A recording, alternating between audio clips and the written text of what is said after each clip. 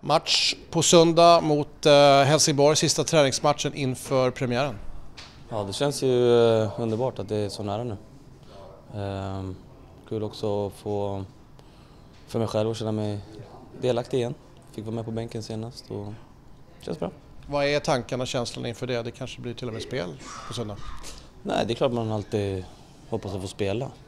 Ehm, blir man uttagen i trupp då är man, eh, då är man 100 procent. Så att, eh, det är inga konstigheter. Jag är jättesugen. Vad krävs det nu? Eh, Det här är ju sista träningsmatchen, sista chansen att korrigera eller repetera saker. Vad, hur tänker ni? Nej, ett genrep är alltid viktigt. Det är då man får svar på, på allt man har gjort på försäsongen. får man se om allting sitter och, och kommunikationen med grabbarna och allting, spelsättet, hur allt fungerar liksom. Eh, Det är ett, liksom ett sista prov inför, inför vad som komma skall. Det viktiga, allsvenskan. Och efter söndag då är det full fokus på måndagen därpå.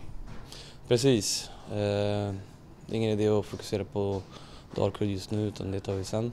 Vi ska ju genomföra ett bra genrep och få med oss eh, många positiva saker ur- den matchen som vi sen tar vidare in i Allsvenskan. Så det kommer bli skitbra. Förväntningar, tankar, känslor.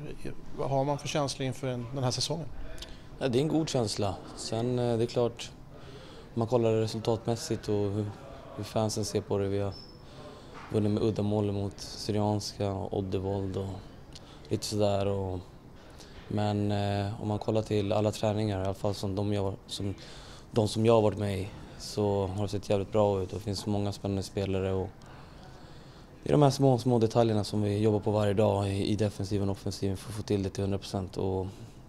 Får vi till det 100% så är vi väldigt slagkraftiga. Det är inget, inget snack om saken.